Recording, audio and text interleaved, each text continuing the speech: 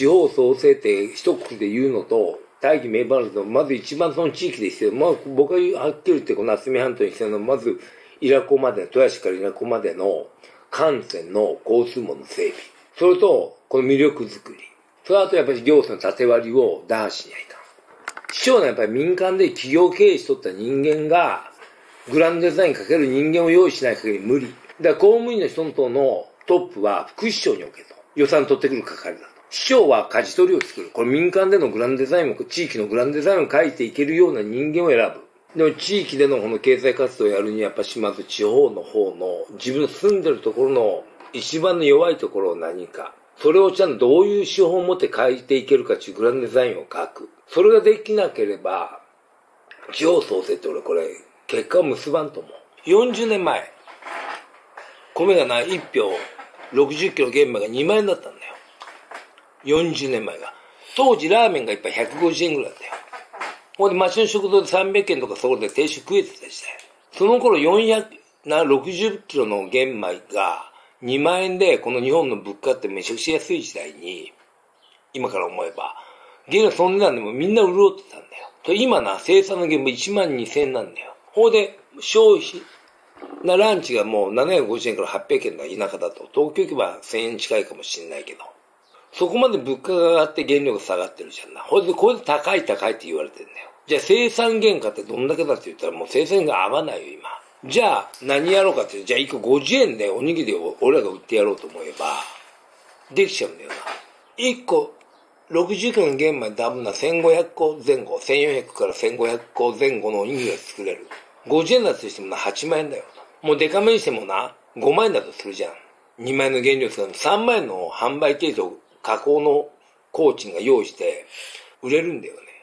生産の現場のには2万円っていう単価を戻してやれて、加工の賃金払ってやれて、物売りで50円で行った時に8万円だったらロスが30%あっても十分採算取れるんだよ。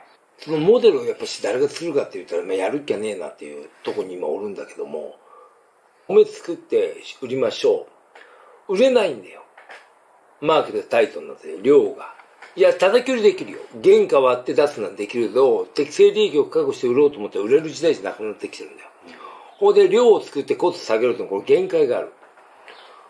ほで、農業を取り巻いてる産業の方は、働き方改革となる、休みが多くなるわ、工賃高くなるわ、部品高くなるわ、全部原料上がってきてるんだよ。とだ、できた製品の単価っていうものは全部が安値安値安値に持ってかれてんだよ。こういう時代の時にな、もう大量に作るうちのこれ減らそうと。もうな、付加価値。そこにやっぱし向かう時代が、気づいておったけどな、いわゆる食えとると人間落ちくてな、動かなかったのどうしたらいいのか考えにはならん。地域経済の活性化。国の依存じゃない。地域で自らの地域の経済を振興していくための政策を考え実行するやっぱしグループを作りながら実行していく。うん、なこれ思うよ。国がね、多分求めるのはここだと思う。うん、で、それしてこの国の経済の発展ないもん。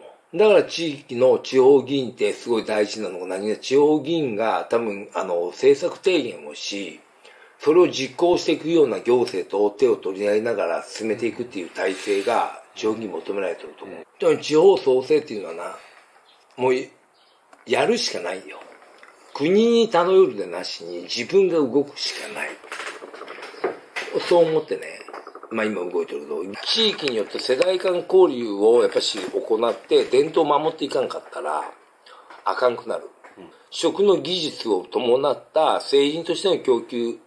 ほどな学校の成績で判断するちゅう風潮は、これ企業に対しての就職する人間を用意した分じゃんな。技術っていうものをないがしろにしてくる教育会中、この国の姿勢が子供を歪める。勉強で料理できない子は経理とか営業とかそっちのプロデュースの方に入っていける。うん、でも、それを支えるその技術を持った子は、成績考えなし包丁を使った技術を持ってる子は、料理の方の現場で一番の会社核になる部分の、ものづくりの方の頭になっていけるんだよ。